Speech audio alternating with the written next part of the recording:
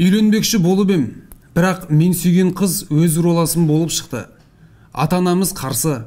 Ал намаз оқитын кей бауырлар исламда бір анадан тумаған болсаңдар сүт бауыр болмасаңдар үйлене беруге болады дегенді айтты. Ислам руға қалай қарайды?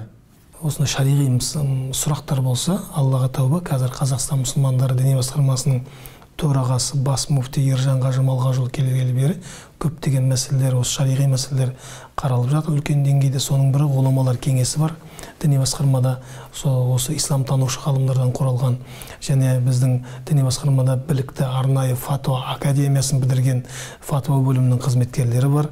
Осы азаматтар елден келген сұрақтарды талқылап фатуаларын беріп жатыр. Қазір бірнеше фатуалар шықты. Жуырда ғана мінекей сол ғұламалар кеңесінің тоғызыншы отырысы өтті. Осы мәселеде көптеген жұмыстар атқарылып жатыр.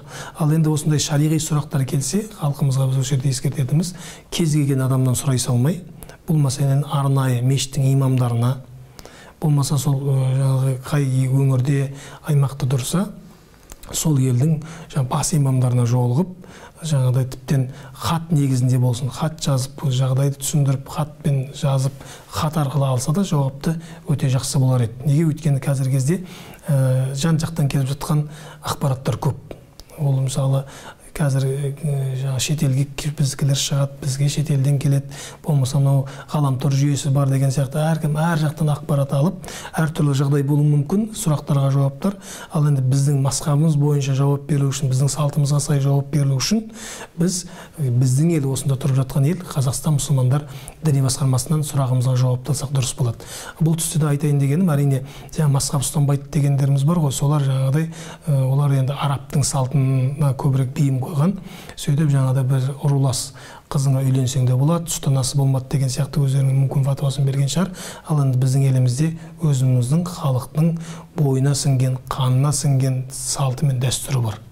Пайғамбарымыз саллаллаху алейхи вассалам хадисінде бір елдің салты шариғатқа қайшы келмесе оған қарсы болмаңдар дейді. Тіптен хазіреті омар айтады алла тағала ол кісіден наразы болсын ұзағырақтан үйленіңдер қандарың таза болады дейді.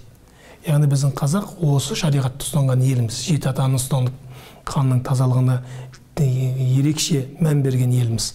Сондықтан ұрулас жақынның қызын алуға бізде болмайды. Бұл өзіңнің қарындасың іспеттес болады. Сондықтан шариғат та бұған жаңағыдай дұрыс емес деп фатуа бермейді. Қайта ұзағырақтан үйлен деп тұр.